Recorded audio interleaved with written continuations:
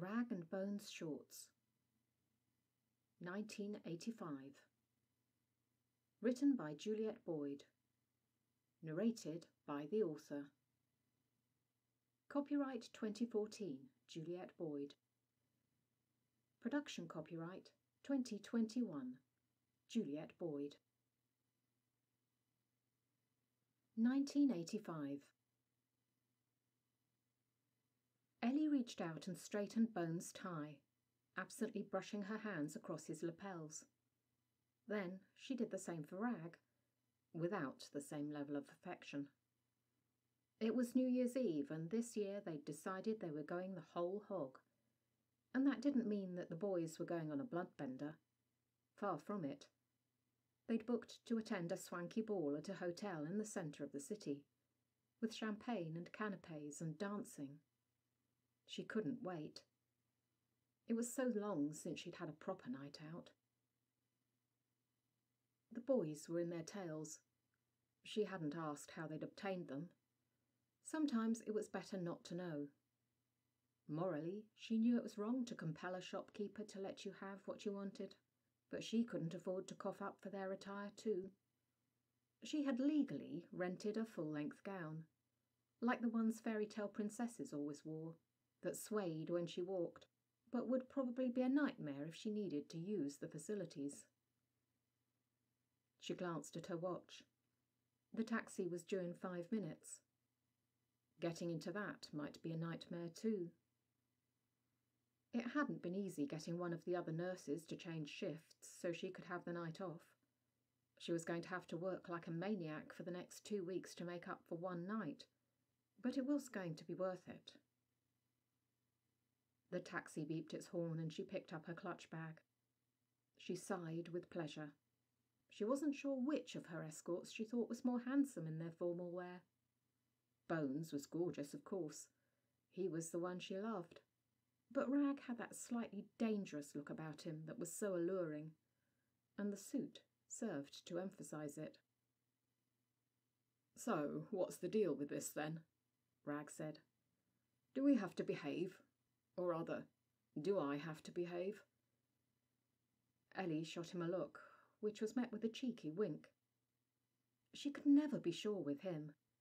She decided she needed to make it abundantly clear, again, what the rules for their night out were. Rag was prone to claiming he hadn't understood her meaning, if she didn't spell it out like you would to a child. Yes, you have to behave. I don't want to have to deal with any dramas. I want to relax, to enjoy myself. Bones shook his head. What exactly were you intending to do?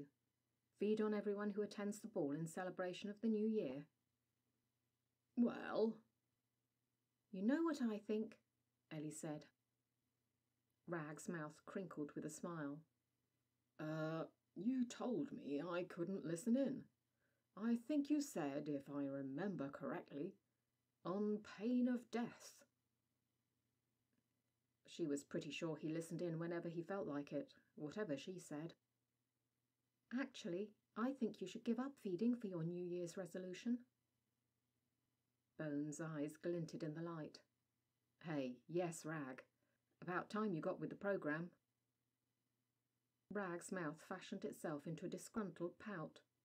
He puffed out a lungful of air why do I have to give up anything? Ellie met his stare. It's what people do. But we're not people. It's a stupid tradition. It's just something made up to make everyone feel bad about themselves when they can't achieve the goals they've set themselves. Ellie secretly agreed, but tried to keep that out of her thoughts. It's not stupid. It means you start the new year with a purpose. And anyway, you're not not people. What? Are you trying to mix me up with words? You know I hate it when you do that. I hate it when she does that. Rag turned to Bones, presumably for support. A low growl tumbled out of Bones' mouth. No, Rag, you are human in every other way than you've died and come back with special powers. Rag snorted. Yeah, that's just a small distinction.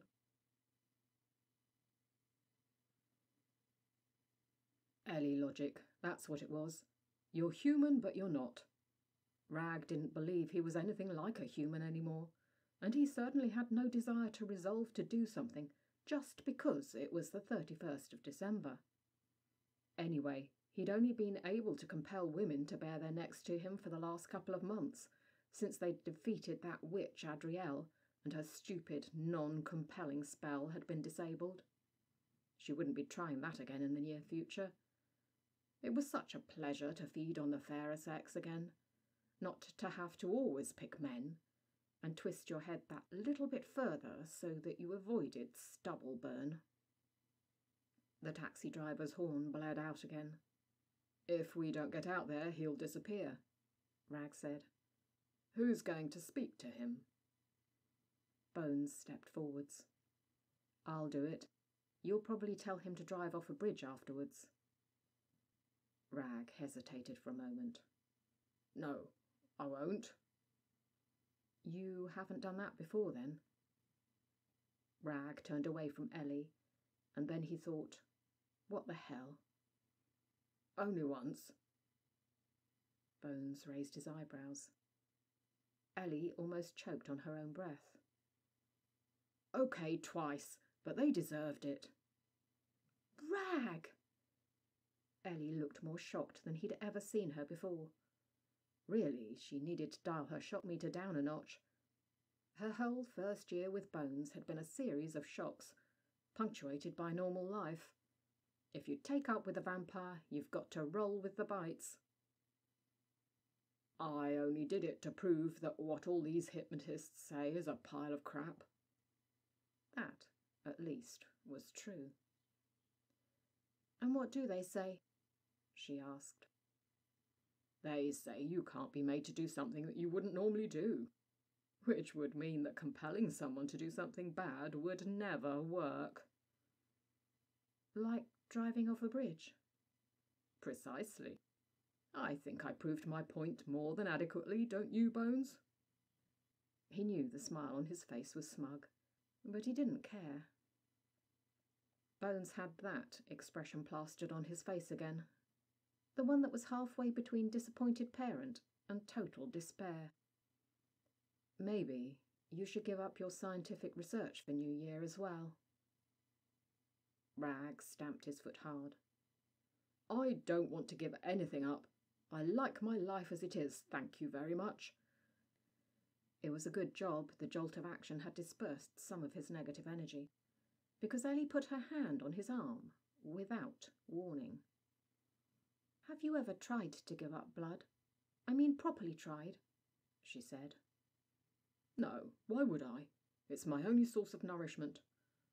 All the stuff you eat counts as a big fat zero for my health. Most of it doesn't do much for yours either. She moved slowly in front of him. So you're scared to try? You don't think you can do it? No, I'm not scared. We're made to drink blood. It's what keeps us alive. Didn't I just say that? That's not true, though, is it? Bones said. You don't just drink to keep yourself alive. You do it for sport. Rag lifted his face and his hands towards the ceiling. So, now I'm not allowed to have any fun either. There are other ways to have fun, Bones said. Rag raised an eyebrow at Ellie. Yes, for some. At that point, Bones pushed him out the front door. He got into the taxi first while Bones conversed with the driver. Ellie scooted in beside him and took the centre seat. I'll bet you couldn't do it, she said. Don't try your reverse psychology on me. Oh, as if I'd dare. She would dare. He knew she would. People with medical backgrounds were always the worst. Bones got in. All sorted. You can talk freely. He won't remember a thing. Rag leaned against the window. Great. Now you can start on me as well. I'm so glad I agreed to come out tonight. Bones didn't give up. Why don't you try it? As you implied earlier, most people give up on their resolutions within a week. He had emphasized the most. Rag wasn't happy with where this was going. Precisely. So, what's the point? To prove to yourself you can do it. I know I can do it. You do? Bones said. Rag felt the shiver of having been manoeuvred creep down his spine. Then prove to us that you can do it, Ellie said. He hated being backed into a corner, and he hated losing a challenge. Oh, for goodness sake. Okay, I'll give up blood sport for New Year. Satisfied? Not just sport, all unregulated feeding. Rag clenched his fist and spoke through his teeth. He knew what that meant. Bloody jam. Literally. Okay, all unregulated feeding. It was Ellie's turn to sport a smug smile. He turned away. There remained one comforting thought.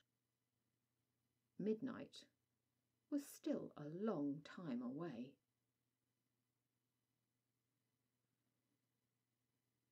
Rag glanced at his watch.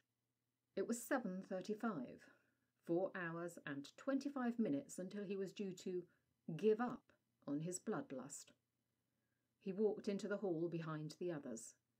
It was decked with so many glitter balls that the space was a mass of little white dots that looked a bit like snow if you squinted and used a big dose of imagination.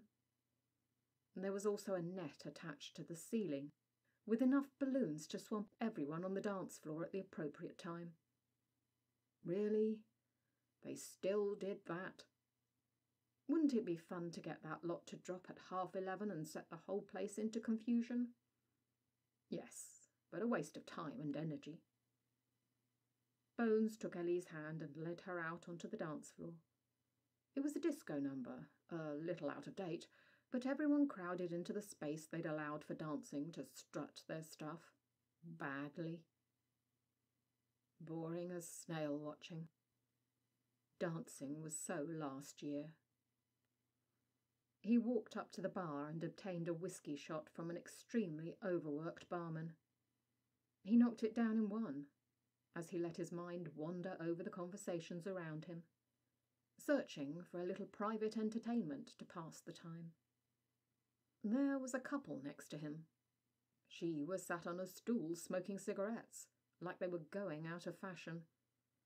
He was shaking his head, presumably in despair, given the words that accompanied it. That's not the point, the man said. Look, I said I'd give up for New Year, not New Year's Eve. I've still got nearly a whole packet to get rid of before then.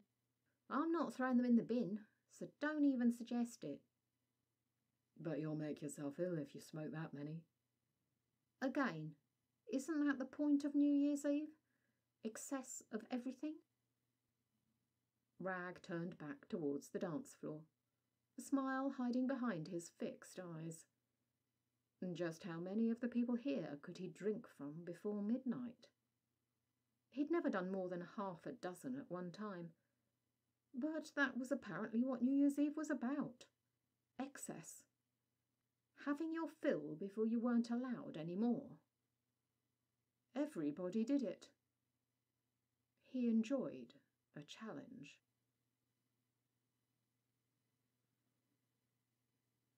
Where's he gone?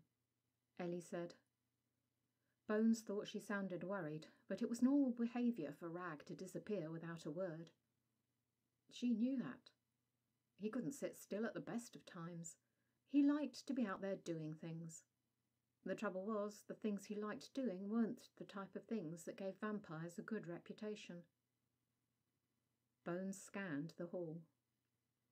I don't know. Last time I saw he was at the bar. He's not very good at playing gooseberry. We shouldn't have brought him with us. No, we couldn't have left him at home on his own tonight. Watching a group of men and women on the TV wearing kilts and doing Scottish dancing would have driven him crazy. He'd have gone out on his own, and you know it. All singing Auld Lang Syne, Bones sighed out. Why don't you go and find him? Keep him company for a while. There's a group of people from the hospital over there, and I know Roger's coming tonight. I'll be okay, just as long as you're back for midnight. Wouldn't miss that for the world. You're sure? Yes, I'm sure. Bones gave Ellie a kiss and then walked out into the lobby of the hotel. He dialed up his hearing to radar levels and tuned in to Rag's frequency. It didn't take long to hear him, but location would be more difficult to determine with this many people around. Rag was. Was he counting? Odd.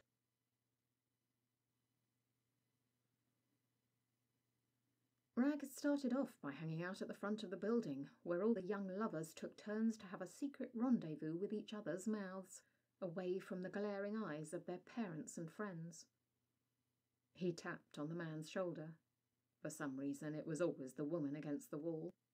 Did a quick forget it compelling on each of them, and then tasted each of their necks in turn. It worked well but the trouble was that not enough people were coming outside to satisfy his binge fest. If he was going to give up blood, he was determined to fill his stomach with as many varieties as he was able to, up to a level that would normally be described as bursting, before the clock struck twelve. Of course, he could have done that with one body, but it would have been just that at the end of it a body devoid of life and he had the feeling Bones wouldn't be happy about that, because it would probably ruin the evening when someone happened upon the corpse and called the police. If he'd been out on his own, he wouldn't have worried. But he couldn't bear the thought of one of Bones' withering looks as the facts of what had happened filtered through the crowd. Those looks had the ability to make him feel about as big as an ant who'd forgotten the way to the big stash of food also, he wanted to avoid the possibility of someone else seeing his antics when he was so engrossed in his meal that he didn't feel their presence. Feeding was like that. Blood blinkers for the senses. That was why he'd decided to retire to a more comfortable venue, without the inconvenience of prying eyes. The room he'd acquired was on the second floor of the hotel. It had a beautiful view of the gibbous moon, a few days earlier and it would have been full, but this was illumination enough for his activities. So much more romantic than a light bulb. He made a quick sweep of the hall, choosing the most gullible amongst them, and got the compelling down to an art. A two second glance at a pretty woman that could not be taken out of context. He had no desire to repeat the events that led them to meet a certain nurse two years earlier. A time and the room number was all they needed. Five minutes apart. Sorted.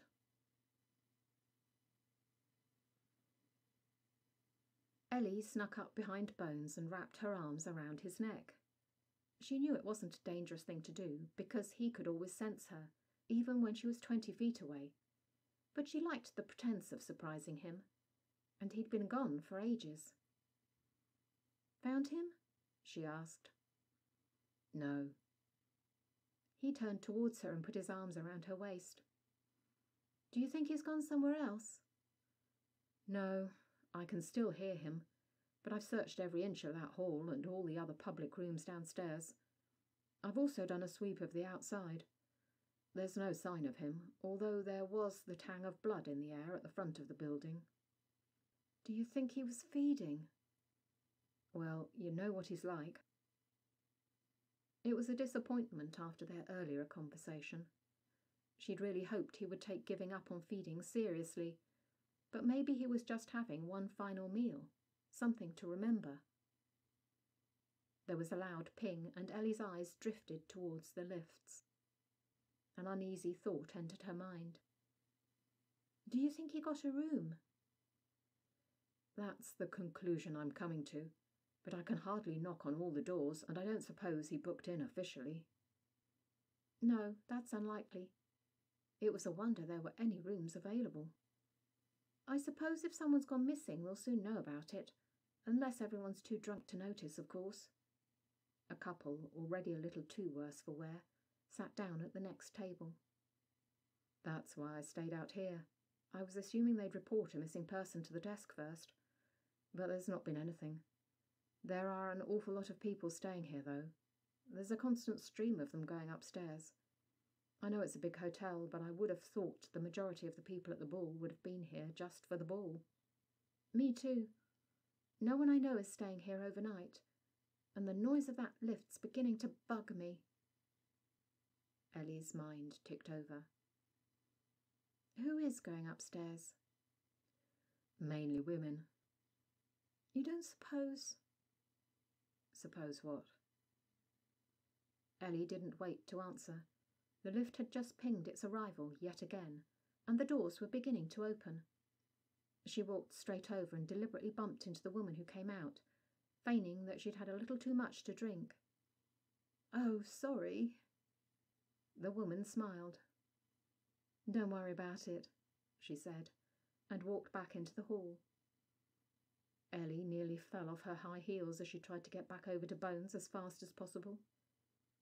She's been bitten, she said. You're sure? Oh, yes. Two perfect little dots of red. Left hand side. Just as he likes it. How could she forget that nugget of information that had been imparted, even though she'd said she didn't want to know? Less sinewy, Unless they're left handed, of course.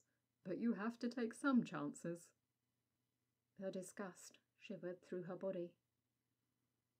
You think he's got a stream of women going upstairs for him? That's insane. How could he manage that? There's only one way to find out. We wait for the next one and follow them? Precisely. A couple of minutes later, another woman walked towards the lifts and Ellie and Bones followed close behind.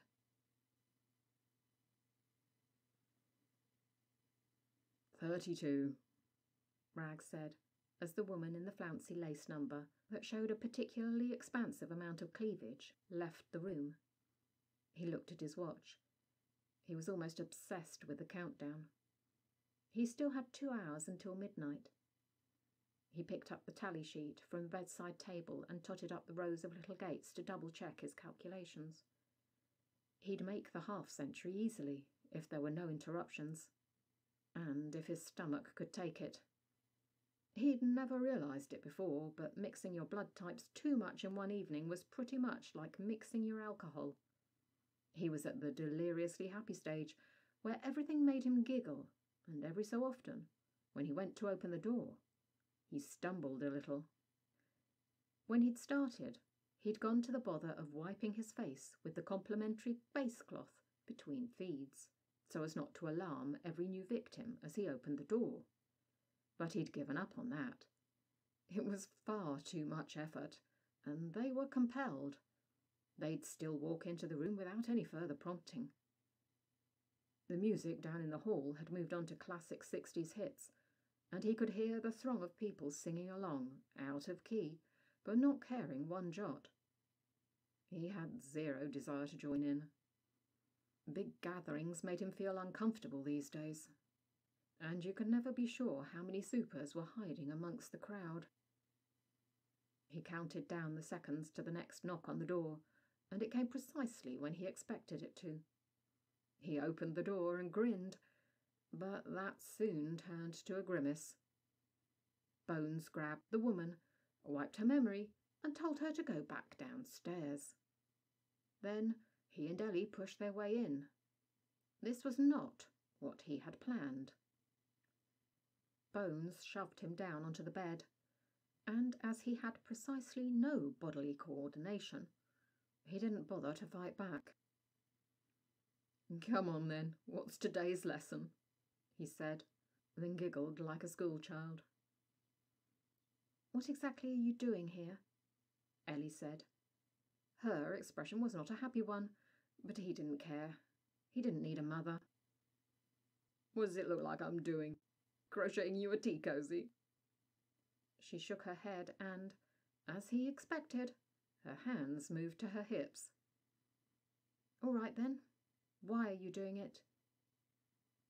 Rag pushed himself up to a sitting position. That was the most ridiculous question. Because it's the right way to go about New Year's resolutions. I'm sorry, Bones said. It's what people do. I heard this woman talking about it. What woman? Ellie said. Down at the bar. She's giving up smoking at midnight. New Year's resolution. He waved his finger at them to emphasize his words, but it only made him dizzy.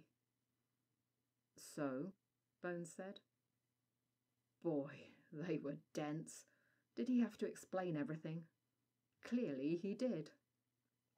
Well, she had this full packet of cigarettes with her.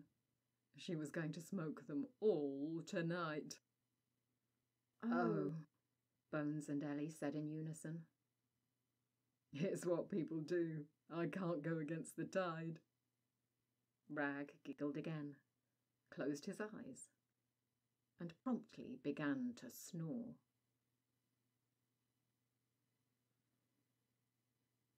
Ellie couldn't help it. She didn't want to cry, at least not until it was midnight and the emotion of Auld Lang Syne hit her. But the tears came anyway. This was all her fault. She was the one who'd pushed Rag to agree to give up on feeding. She should have known it was too much, that he would twist it to his own purposes. He wasn't Bones. He wasn't anything like him. He was the bad cop. He was the evil twin. He was just a normal vampire. A vampire who stayed true to their kind. Bones was the one who didn't conform. Considering how different they were, it was difficult to believe they were friends, but they were rarely away from each other. Ellie had to accept it. This was how it was always going to be, and she couldn't deal with it any more. Bones gently lifted her chin. Hey, you okay? Okay was the last thing she was. Her heart wasn't winning this battle. It couldn't if she wanted to stay sane. She had to do it, and the sooner she did it, the better it would be. It was a bad night for dumping your partner, but she had no choice. I can't do this any longer, she said. Do what? Bones' brow had furrowed to a level of concern that indicated he did understand, even if he didn't want to believe what she said. I can't be with you any more. His expression changed. There was anger hidden in there. What? Because of what he did? She nodded. But not just that. I can't change him, and you know what? I don't want to change him. If he isn't happy living the same kind of life as you, then that's his choice. But I can't be around him knowing that he's doing that. It's like I'm condoning his behaviour if I treat him as a friend. I can't be that two faced. It isn't me. Ellie, no. If we stay together, I will always be around him. We don't have to be. Don't lie to yourself. You can no sooner be away from him as I can stop being a nurse. We can't be together, Bones. It's too difficult. Some relationships are just not meant to be. Ellie stood up and opened the hotel room door. Without another word, she walked out and closed it behind her. Bones didn't follow. He was probably too stunned to move. She went downstairs and back into the hall. She still had New Year to celebrate, and she had her resolution. She needed to make a new start, and this was the perfect time. She needed normality, a big dose of it. She wiped her eyes, ordered herself a glass of champagne, and set about finding where Roger was hanging out. Whoa, that was a little extreme, Rag said, peeling one eyelid open with his finger and thumb, because it wasn't willing to perform that task on its own. It wasn't long before he wished he'd kept his mouth shut and continued to pretend to be asleep. What did you say? Bones looked the kind of pissed where you didn't care what you did or who you hurt. And there he was, lying on the bed, without the ability to move his body in cohesive fashion. Not a good situation to be in at any time. Bones rarely got angry. He usually talked things out, made his rational point, and tried to bring someone around to his way of thinking. This was clearly not one of those times, but, much to his surprise, he felt a new warmth towards Ellie. She had said she didn't want to change him, which was a first for anyone he had known, now or ever. The whole I don't like your friends, so I'm going to dump you thing, it's a little extreme, don't you think? Stand up and say that. Uh, no. That would be stupid. I'm quite happy here, thanks. Sometimes he wished he didn't like to push people as far as they could possibly go. Over the edge was always preferable, because that gave the most spectacular results, but not always in his favour. He waited for the first punch, bracing his body, his teeth gritted together. The effort made his vision a little cloudy, so he peeled his other eyelid back to take a better look. His eyes began to water. He blinked hard. For a second, he couldn't work out where Bones had gone. Then he saw him, sitting on a chair. And if he wasn't mistaken, his best mate was crying. That wasn't a very vampire like thing to do. Where was the out and out rage that could not be tamed? Where was the instinct to kill anyone who had done him harm? This no blood thing was making him weak. He wasn't a vampire anymore. He was just a creature who happened to look something like a vampire. Did he not remember what had happened before? Rag forced his body to straighten up, pushed himself off the bed, and walked across the room. His steps were like a drunkard's, but that couldn't be helped. He slapped Bones on the back as a gesture of camaraderie. He got no response. Look at it this way, he said. It would never have lasted. Not unless she wanted to become one of us, and I think the likelihood of that was about this big. He held his thumb and forefinger so close there was barely a space between them. That was the point at which Bones decided to respond, and their faces ended up as close as his finger and thumb had been. You've never been in love, have you? You don't understand what it's like to be prepared to lay down your life for someone. Rag considered for a moment. I mean, I'd lay down my life for you, probably, but I'm sure as hell not in love with you. Do you have to make a joke out of everything? Was that a joke? Rag giggled and hiccuped into Bones' shoulder. Sorry, I seem to be a little blood drunk. Don't ever come near me again. Move away from the city and find yourself somewhere else to live. I don't even want to hear mention of your name. We are no longer friends. You are a disgrace to the vampire name. Hey. If anything, it was Bones who was the disgrace, not him. Before he had a chance to respond, Bones had disappeared out the door. Rag was stunned. His friend had actually sounded serious about them never seeing each other again. Was that really how he felt about this woman? He'd never talked about it before. He couldn't lose Bones. He hadn't got any other real friends. Bones and Ellie were the closest to family he'd had since he'd become a vampire. This couldn't happen. One thing was for sure. He needed to sober up before he could sort any of his mess out. He went through to the ensuite and leaned over the sink. He rinsed his mouth with water and washed his face. He felt marginally better. He opened the door to find a queue of women standing there in the corridor in a daze. He shook his head and ran off. He had more important things to worry about than telling them to go back to their partners.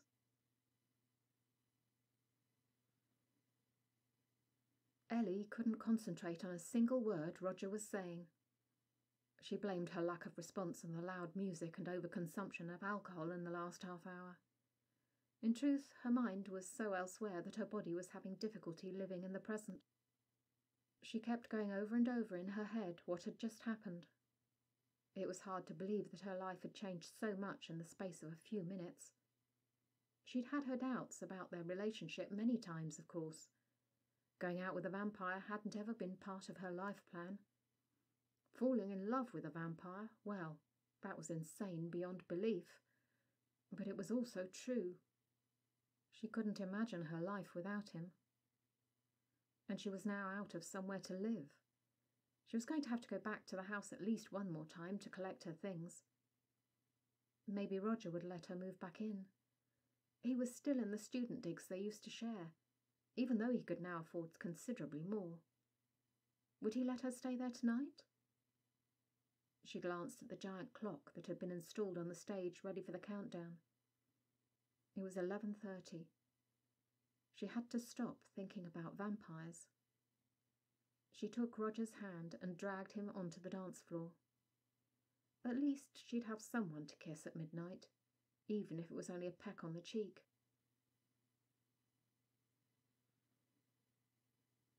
Bones couldn't go back to the hall. If he did, he'd see her, and he couldn't bear the thought of that.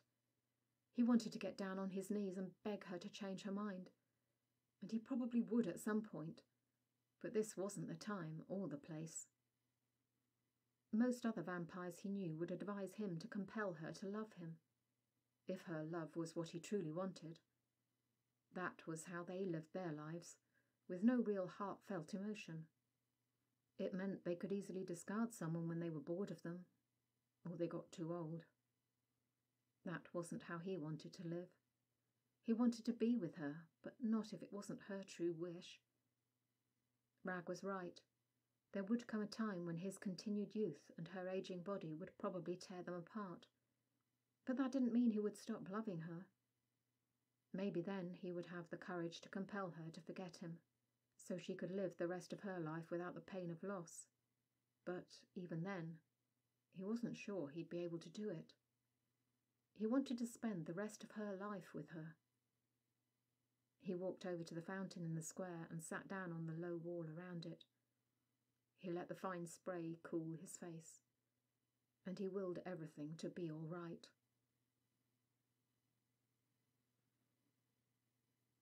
Rag did up his jacket to hide as many of the numerous speckles of blood on his shirt as he could and walked into the ballroom.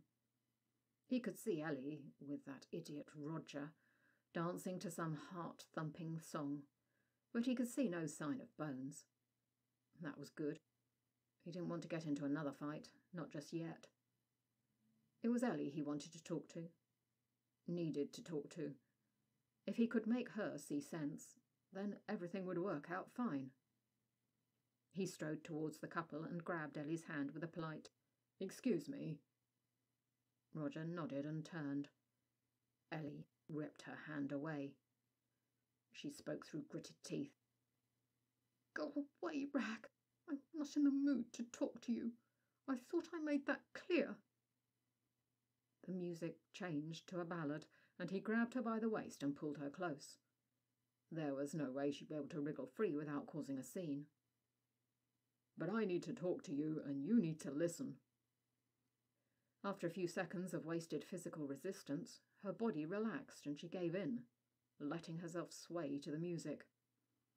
She wouldn't look him in the eye, though. She was probably concerned about being compelled, but compelling wasn't the solution to this. Nothing you say will make any difference. I can't be around you. You're a monster. He'd been called worse. Unrepeatable worse. You were trying to force me into a situation that I wasn't happy with. So you thought you'd get your year's worth of blood in one go? Was that it? People usually rebel when they're put into a situation they're not happy with. She glanced at his face, anger blazing in her eyes. That was more than rebelling. You're not a kid. No, I'm a vampire, and I have needs. You don't need to kill. That was too much. Did I kill anyone tonight? Did I? Because if I did, I'd like you to show me the body. That shut her up for a second, but not much more. You would have done if it hadn't been so public. She was probably right there. Do you like killing? That was something he'd never thought about before. Did he like killing? He liked feeding. He liked blood. But killing was a bit of a pain. There was all the mess afterwards for a start. You couldn't always leave the body where it fell. Sometimes you had to get rid of it, and even with super strength and super speed, it wasn't the easiest of things to accomplish. But sometimes you couldn't stop yourself from killing. Sometimes there was a rush of adrenaline that made it impossible to stop. It's a byproduct of what I am. That really was what he felt. No, it isn't. Bones doesn't kill to sustain himself. Oh, so it's only the killing to sustain myself that you don't like? Ellie lowered her head till she had to be staring at their feet. I know there are some times when you have to defend yourselves, that you live in a different world to me, where the expectations are different and the values. I don't like it, but I accept that. But killing to keep your body alive is a different matter entirely. You don't need to do it. I. I could help you like I do Bones. She was talking about a future they could share again. But it was madness to think she could provide enough blood for the two of them. He pulled in a deep breath. I can't ask you to do that. And he didn't want to be beholden. Yes, you can. We found a way to eke it out. That damned jam. He knew it was going to be the jam. Yes, Bones only needs a spoonful of that each morning, and he's fine. And I only use one pint of blood to make several pots of the stuff. There's plenty to go around. Rag turned up his nose. I don't like jam. Have you even tried it? No. It goes well with porridge. Damn it. He knew she was going to say something like that. He loved his porridge. It reminded him of when he was a kid. His mother used to make the best, but they could never afford anything to put on it. Bones says it still tastes of blood. I can't vouch for that because it turns my stomach to think of trying it, but I'm sure he wouldn't lie about it. Rag wasn't so sure. He imagined Bones would lie about anything if it made Ellie happy, but he could feel his resolve weakening. This was her compromise, and he needed to do the same. That was how these things worked. It was a solution if he was prepared to make a sacrifice. For his best friend. For his only friend. Okay, he said. Okay, what? Okay, I'll give it a try. I'm not promising anything, but I'll try to give up feeding and killing when someone isn't threatening my life. But only if you'll take Bones back. I'm not doing this for the fun of it. There was a long silence as Ellie stared deep into his eyes. It was almost as if she could read his mind, which she couldn't, but she was pretty good at reading emotion. She reached up and took his face in her hands and planted a smacker on his lips. His heart began to beat faster but he didn't let his eyelids close. Damn it. Thank you. Where is he? Now, that's our next problem. I have no idea. But he has to be here for midnight, so we can celebrate. Rag wasn't sure he wanted to celebrate their agreement, but he did need to make sure Bones was on board. Come on, let's go and find him. I don't think he'll have gone far.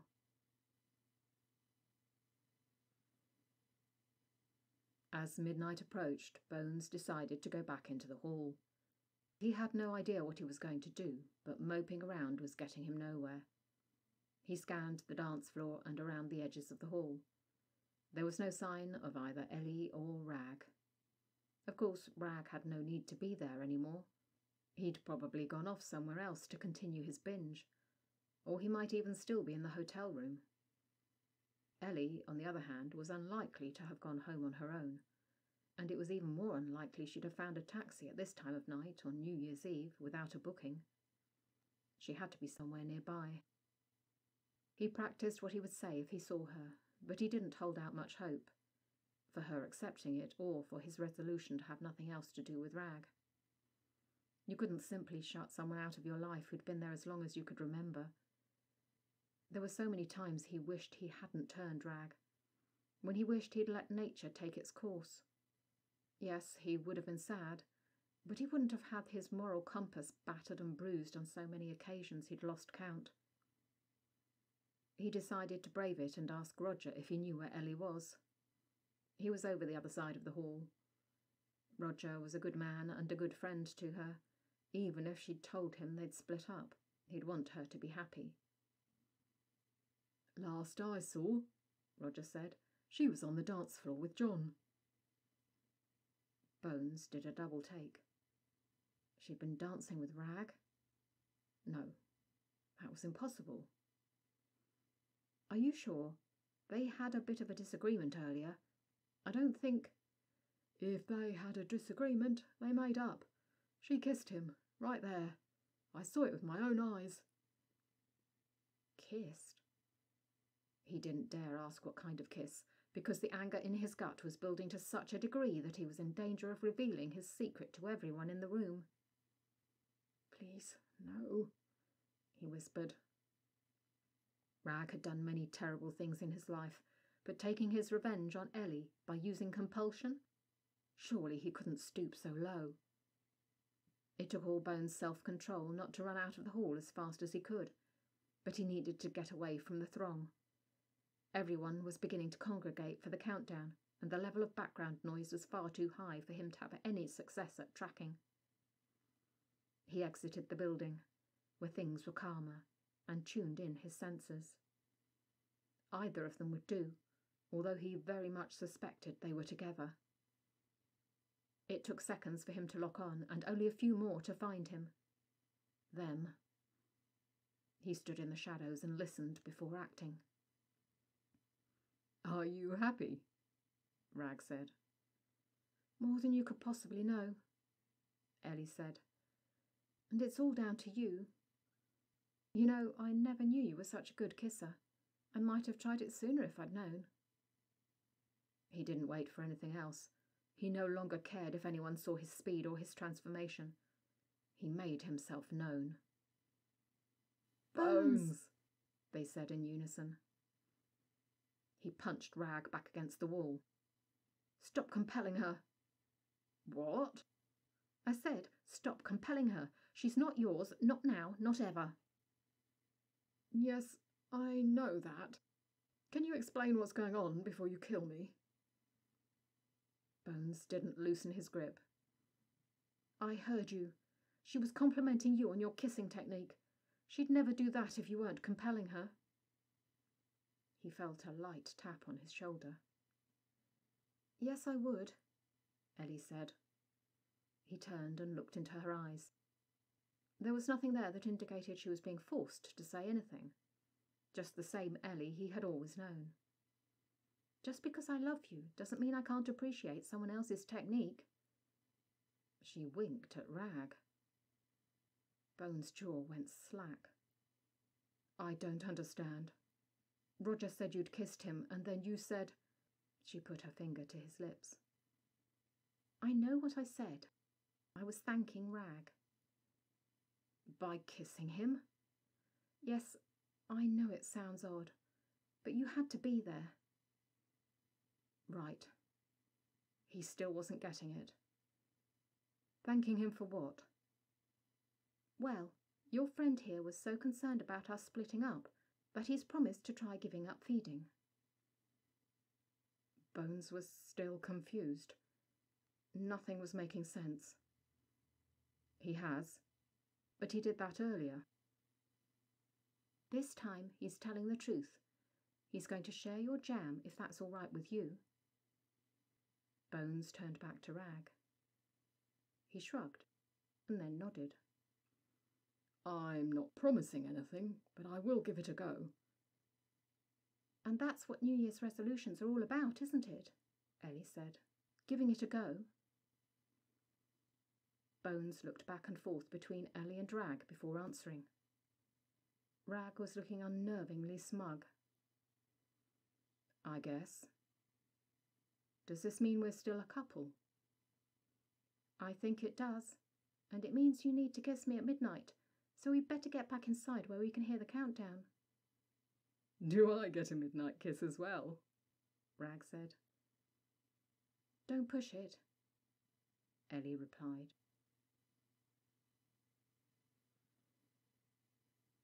Rag plodded down the stairs with a head like he'd been standing next to the speakers at a rock concert.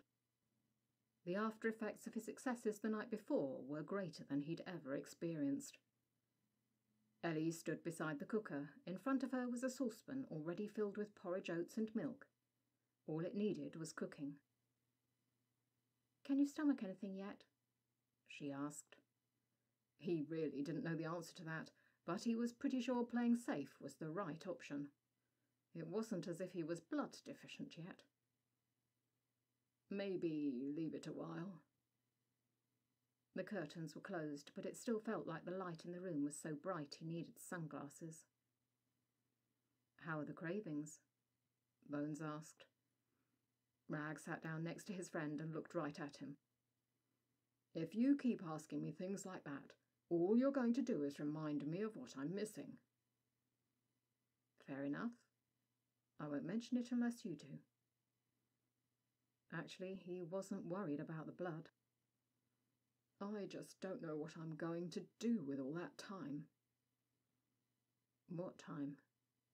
The time I spent planning. It was like a game, finding the tastiest neck and then stalking my prey. What am I going to do instead?